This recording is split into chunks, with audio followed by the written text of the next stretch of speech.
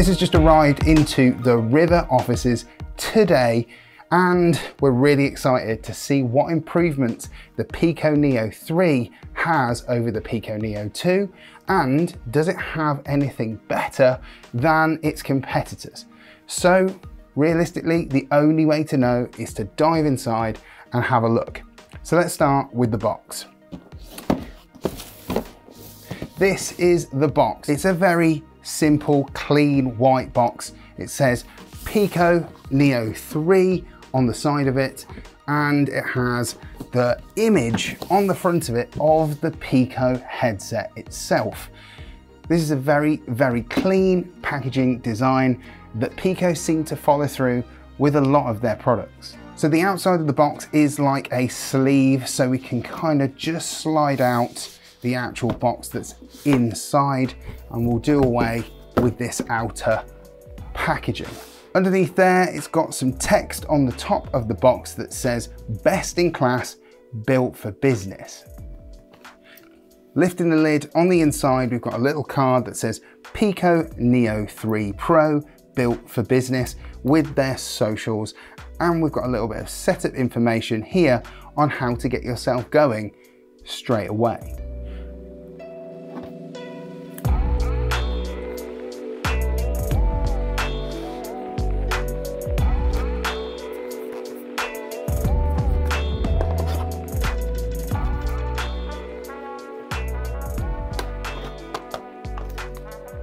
So let's do away with the box and have a look what we get inside this package. So the most obvious thing is the headset and there is a brand new design. There are some major differences from the Neo 2. Firstly, the front of the actual headset now has four visible tracking cameras. You also can see the design is a little bit more rounded on the edges and no longer does it have the glossy black panel along the bottom. But true to the previous version's design, you do still have this white and black front faceplate with the rest of it all in white generally across the rest of it with a little bit of hint of grey around the back part of the head strap. We've got a massive amount of padding as well for this area around where it will sit on your face. You've got the Pico branding along the side of the headset and you've got an adjustable dial on the back to be able to set the size of the strap to fit you perfectly. The lenses of the headset are adjustable, but only in three positions. Very similar to the Oculus Quest 2, you aren't able to change this with precision adjustment. We've now got two brand new controllers for the Pico Neo 3. Unlike the Pico Neo 2, where the controllers were, shall we say, a little bit different to this in the way that they tracked the headset and the way that they overall looked, these are now a little bit more Oculus Quest 2-esque, but a little bit longer in the handles definitely do like this design of controller, so hopefully this is a major improvement. The new controllers require two AA batteries per controller. Now that is different to other headsets in its class and with the Oculus Quest 2 you only required one. That said, I hope that the fact that they both need two batteries means we've got extended battery life, which is always a positive. And finally is likely to be the cables. So let's have a quick look. Inside we've got a little instruction manual and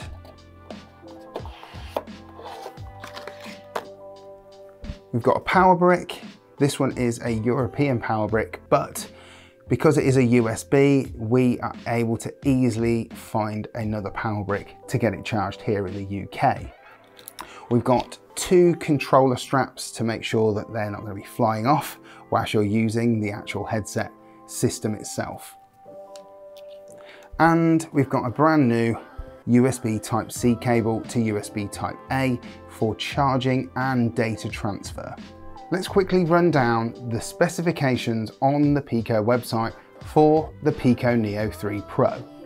Starting with the processor, this now has a Qualcomm XR2 processor.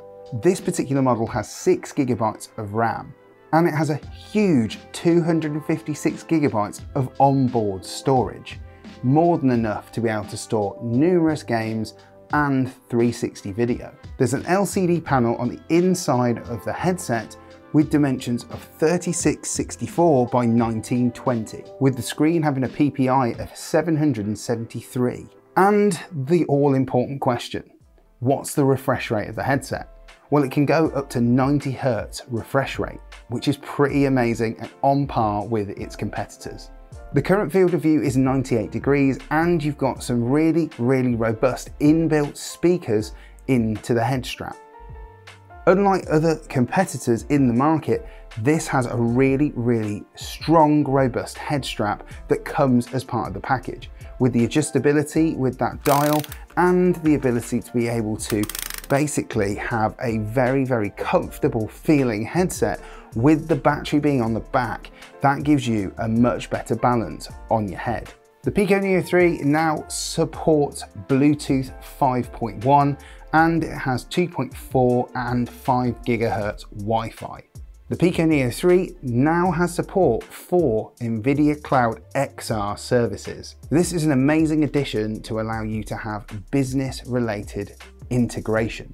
One thing that really sets it apart from its rivals, and particularly in the business space, is its ability to have a DisplayPort connection, allowing you to display what you're doing via HDMI or DisplayPort out to a TV. Unlike its rivals, the Pico Neo 3 Pro has an array of buttons on the actual headset. Its rivals unfortunately rely very heavily on either hand tracking or the controllers to be able to interact with the headset. But because this doesn't have hand tracking, it really does require the need for buttons if you haven't got the controllers to hand. That's not a bad thing. Realistically, it gives you very quick input ability and some of the things that are good about this over its rivals are the fact that you can interact with content without the need to always be in six DoF mode.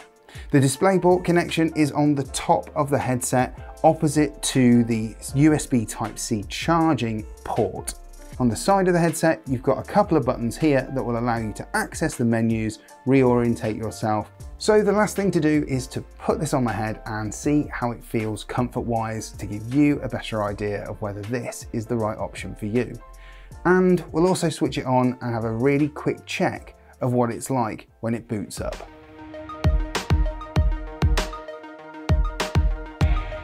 After spending a little bit of time playing around with the Pico Neo 3, I've really enjoyed having the opportunity to play around with it.